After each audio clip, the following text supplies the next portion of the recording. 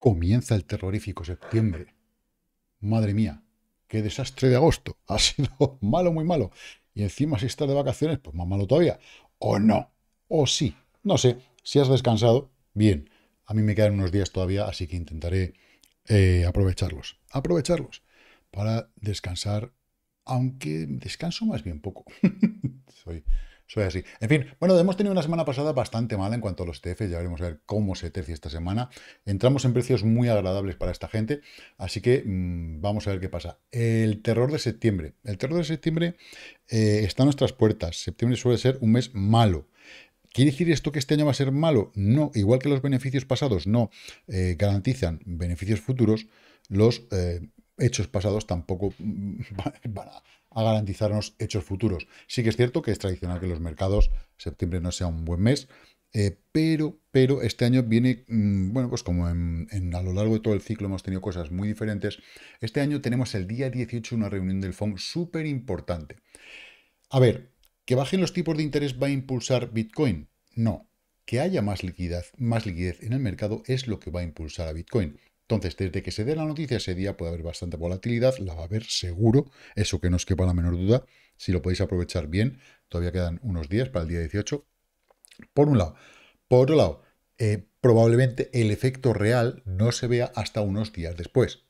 ¿Bien? ¿Por qué? Porque en principio ya sabemos lo que pasa. Cuando empieza a entrar liquidez y aparecen estas noticias en el mercado, el dinero de verdad, la chicha, la limonada, ¿dónde se va? A los mercados tradicionales. Luego decimos, joder, ahí está noticia y Bitcoin no sube, solo sube el SP y sube el Nasdaq. Bueno, pues mm, suele pasar esto, es algo que es totalmente normal. Bien, eh, entonces os lo digo para que luego no os llevéis sorpresas cuando llegue el momento, ¿vale? Que hay muchas expectativas y demás. Entonces, ¿septiembre va a ser malo? Relativamente. Probablemente vayamos a tener un inicio bastante malo, que no tiene por qué ser el día 1, 2 y 3, ¿vale? Cuidado con esto. Y después podamos tener una recuperación al final de mes. Es lo normal, es lo lógico, es lo que suele hacer. Y luego viene October, como dicen, ¿no? El octubre es octubre arriba, que a mí me toca las narices ese, nombre. Es octubre y punto pelota. Y además, eh, todo el mundo espera, no, porque octubre es... No, no, no. Octubre es, primero, el mes del, de la frenada de caídas y el mes del inicio de la recuperación. Esto no quiere decir que el día 2 de octubre ya hemos recuperado todo lo que se ha perdido en agosto y en septiembre. Cuidado.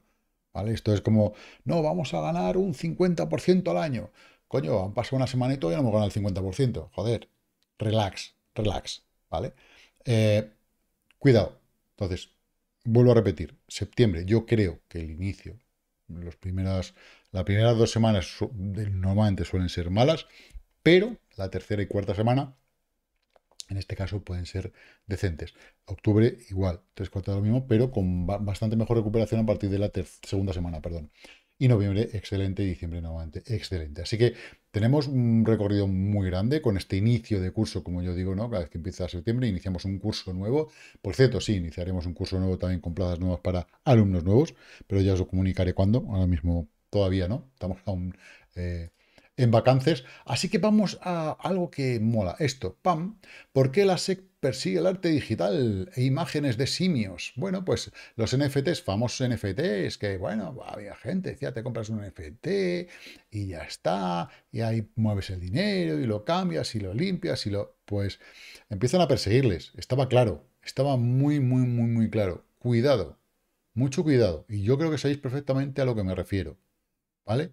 Cuidado con estas cosas porque se van a perseguir muchísimo ya y a más de uno le van a hacer un agujero bastante más negro que el que ya tiene en el ojete. Así que eh, atentos a esto. En fin, USDT, Dominance, ¿dónde estamos? Bueno, pues en la parte de arriba del canal, estamos intentando llegar a tocar esas zonas.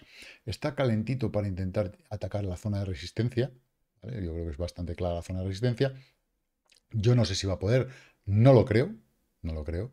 Eh, para mí es... Eh, este, fue un toque, si da otro toque va a ser casi, casi, casi, casi, bueno, pues de desgaste para luego volver a caer. Y lo que buscamos es la pérdida de esta zona roja que de momento no la hemos logrado.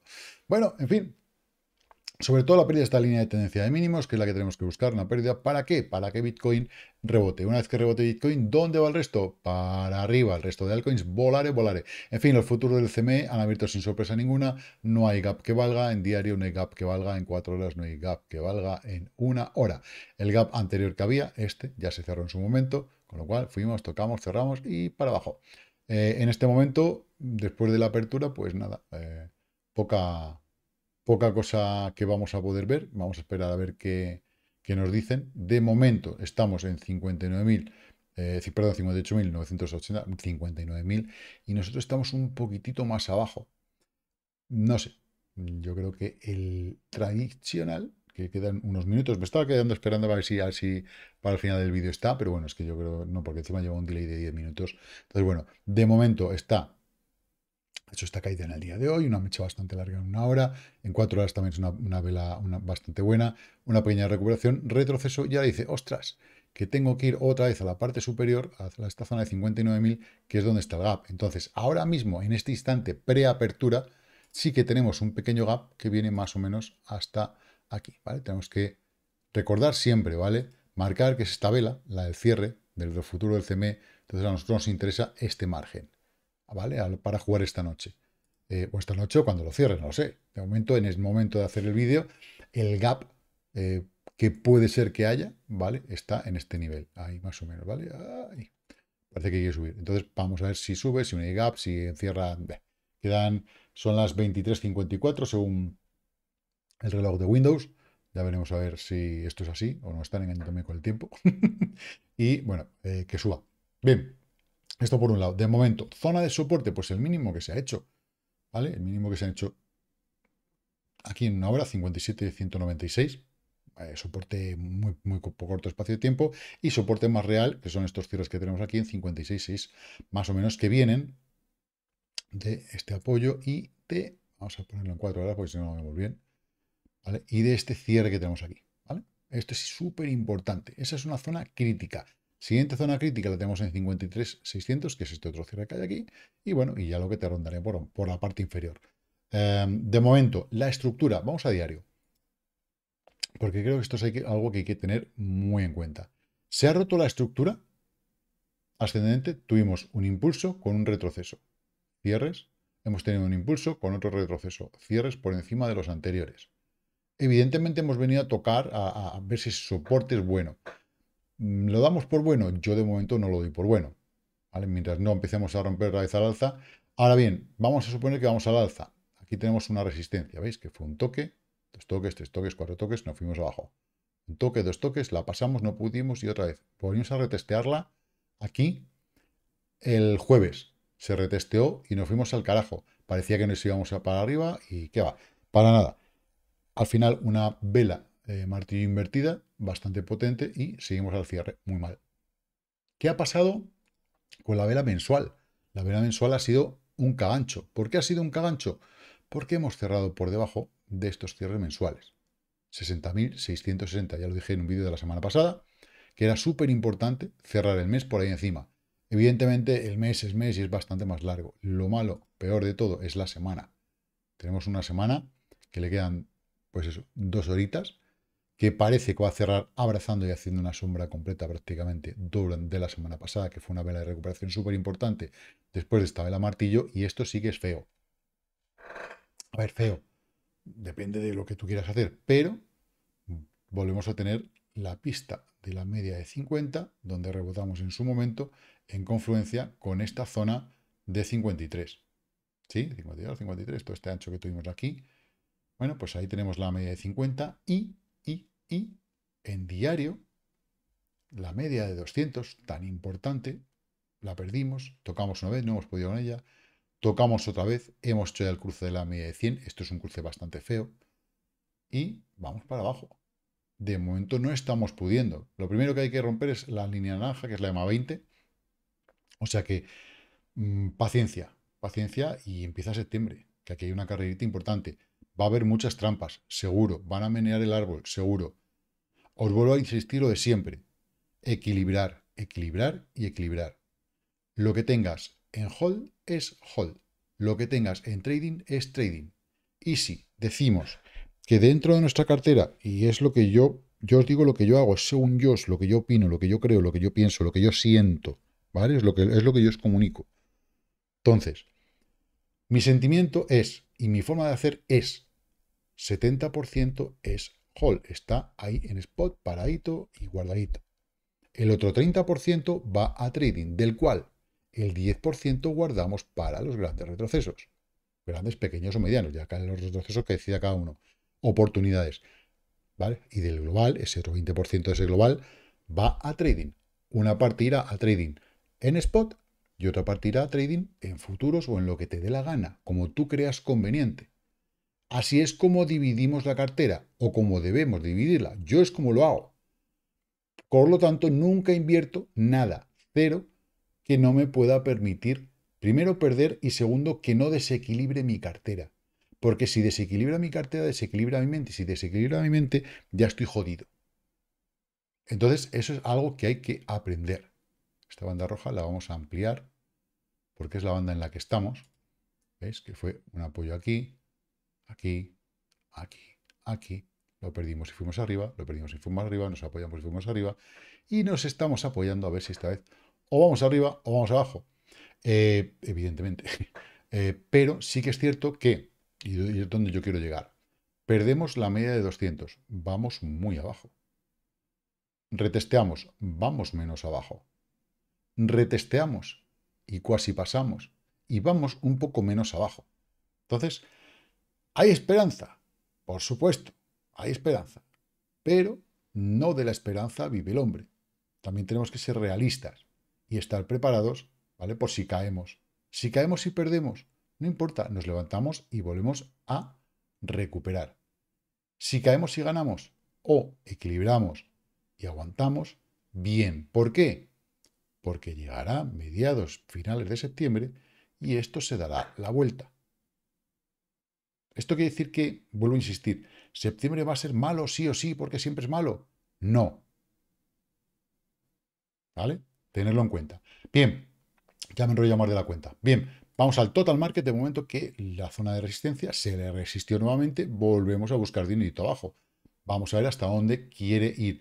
Eh, sería interesante que aguantase los 2 trillones, donde estamos ahora aproximadamente. En cuanto a la dominancia de Bitcoin, pues bueno, ha estado haciendo su recorrido ya por la línea de tendencia un par de veces. Va a ver si la rompe y yo creo que al final tiene pinta de ir a romperse e intentar hacer ese camino que tenemos marcado hacia esta línea de puntos en los 62 y medio. Vamos a ver, vamos a ver que como, como a cuanto más arriba, insisto y vuelvo a repetir lo mismo de siempre, cuanto más arriba vayamos, en cuanto a dominancia de Bitcoin, mejor será para el retroceso que venga después y la all season que venga con, bueno, pues con el propio Bitcoin. Bueno, el dólar eh, pues, en, sí eh, ya perdió la zona que tenía que perder. Creo que debe ir más abajo. Creo que tiene que venirse a los 99 y medio, pero bueno, viene, retestea una zona, rebota. Ya veremos a ver cómo se lo toma. Eh, para nosotros es importante que diga, vamos a retestear esta línea de tendencia, pullback, para luego perderlo, ¿vale? Que yo creo que es el movimiento que va a hacer pero no lo sabemos. Y respecto a Bitcoin, una cosa importantísima que tenemos que ver, ¿vale? Vamos a verlo en una hora. ¿Por qué en una hora? Pues porque aquí es donde se ve claramente cómo va la fiesta. Fijaros que empezamos a caer y hasta este punto, bueno, pues perdimos toda la zona del 50% RSI y nos hemos mantenido continuamente por debajo. Aquí una pequeña salida, pero por debajo, por debajo, por debajo, por debajo, por debajo, por debajo. Es importante romper al alza y empezar a escalar por arriba es la única forma en la que vamos a ver, entramos en zona de construcción y subimos hacia la resistencia de los 60.200, 60.300. Importantísimo, porque esa es la clave ahora mismo. Entrar en esa zona y poquito a poquito ir rascándole, pero no acaba de conseguirlo. Bien, vamos a ver mm, de una forma muy rápida, solamente eh, un vistazo mm, eh, muy rápido a las, la lista de altcoins, ya que he recuperado yo mi, mi cuenta de, de TradingView. Entonces tenemos aquí, estos no son altcoins, tengo que ir aquí a Pares USD.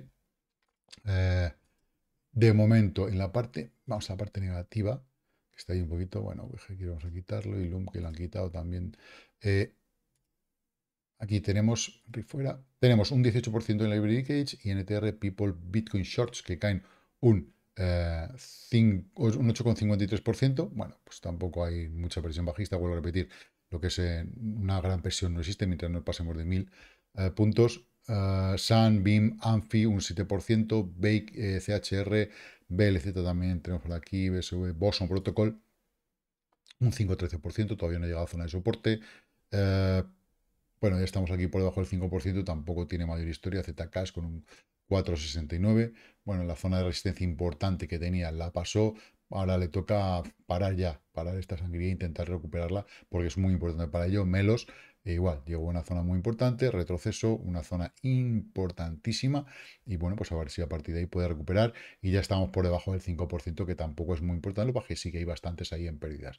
Por la parte positiva, en el lado contrario del ring tenemos a Neblio, un 36%, que esto no quiere decir que no se haya una castañita, pero bueno, intenta recuperarse, eso está bastante bien, Haro un 19,87%, buen pepinazo, ha estado yendo más arriba, pero bueno, aquí parece que no sé si es un doble techo o si sigue trabajando al alza. Acá IDEX también un 11%, FIO un 8,54%, LEN un 7,78%, pero bueno, no termina de frenar su sangría. HNT un 4,49%, esta es de las que van muy, muy, muy bien. Ah, de momento intentando romper esta resistencia que tiene previa a un máximo súper importante para alcanzar la zona de 13,5, que es súper importante para para llegar a, puntos importantes. Eh, FED un 381, bueno, pues a la zona de soporte tocó, rebota, ahora en esta línea de tendencia que rompió ha hecho un pullback, bueno, pues eh, lo importante, el objetivo está en la zona del 1.72 que tiene bastante buena pinta. Eh, audio, Firu, CR, Bit, Vibrate también lo tenemos aquí con un 0.78 y poco más, bueno, pues Rune aquí un 0.54, Polis USDT aquí en 0.14, bueno, pues aguantando bastante bien el chaparrón, a ver si empieza a rebotar y nos hace, después de este pequeño retroceso, un nuevo máximo y empezamos a, crecer. Como veréis, ahora hay muchas que ahora mismo están teniendo una, un esquema eh, de un hombrito, una cabeza, ¿vale? Y un segundo hombro, ¿vale? Si cumplen, eh, podría estar bastante bien para intentar atacar las resistencias que tienen un poquito más arriba. Veréis que hay muchas altcoins que tienen esa posibilidad eh, en bastante, ¿vale? Tenemos a Melon ya 0%, muchas en el 0%, esperando a ver qué narices pasa y qué decide hacer Bitcoin en el día de, hoy, a lo largo de lo que es ya el lunes. Entonces, bueno, vamos a terminar con Bitcoin. Bitcoin en una hora, bueno, pues de momento decide retroceder y vas a ver si rompe mínimos, si vamos a una zona de soporte 56.6 Creo que sería lo lógico aguantar hasta los 56.6 y luego ya vamos a ver qué pasa. Son 1.500, 1.600 dólares, pero os recuerdo que tenemos un gap, ¿vale? Un gap en estos momentos todavía no se ha cerrado, ah, todavía no tenemos datos porque quedan cuatro minutos. Bueno, en realidad han abierto ya, pero claro, eh, en realidad, aunque hayan abierto o no hayan abierto, estamos aquí. Y como eh, tenemos, vamos a ponerlo mm, aquí, por símbolo, esto ves que tiene aquí una D, quiere decir que hay un delay de 10 minutos, un retraso de 10 minutos. Eh, bueno, pues, hasta que no decían abrir decir que si vamos abajo, vamos arriba, vamos a un lado, vamos al otro. De momento el gap se amplía un poquito más. Ya tenemos un gap pues casi de mil, bueno, sin casi, de mil dólares. Así que bueno, no está mal, no está mal.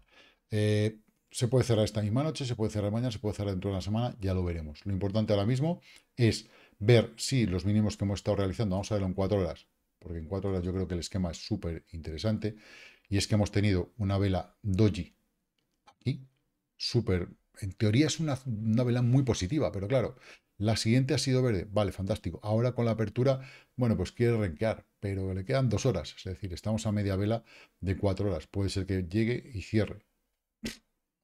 Es muy complicado, muy complicado tal y como está el mercado y después de estar un poquito fuera de él, pues es más complicado aún.